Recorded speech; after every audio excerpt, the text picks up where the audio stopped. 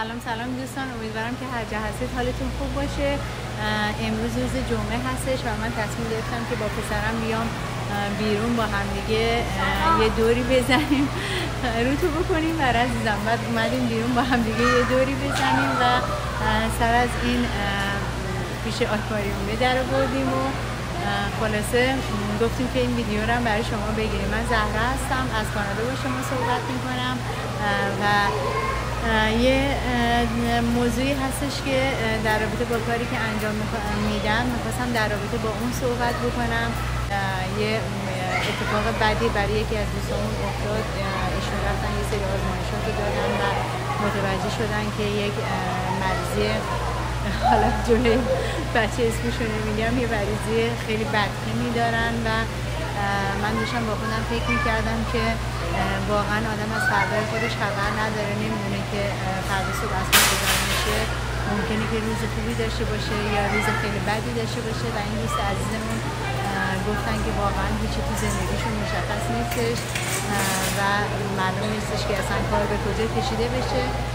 برای همین هستش که دوستان من یک سال پیش خیلی از مسائل جانبی که زندگی آدم می‌تونه داشته باشه در نظر گرفتم.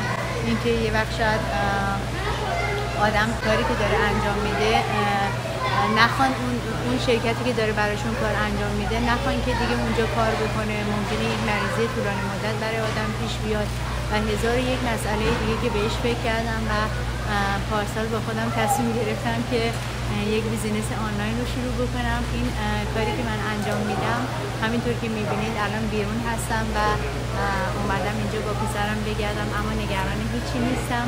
به خاطر اینکه به خاطر اینکه با اینکه من اینجا دارم وقت میگذرونم اما business من داره انجام میشه و advertising من در یوتیوب و فیسبوک داره انجام میشه. سیستمی که من باش کار می‌کنم 90 درصدش به صورت اتوماتیک هستش و کلا 15 درصدش به صورت این پست و ویدیوهایی که ما می‌ذاریم براتون و کار تبلیغاتی که انجام میدیم به این صورت هستش.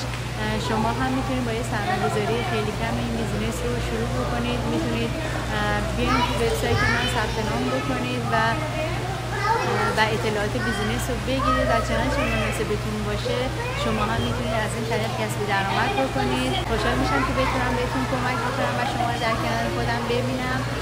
امیدوارم که هر جا هستی سعی سالم باشید. خدا نگهدارتون.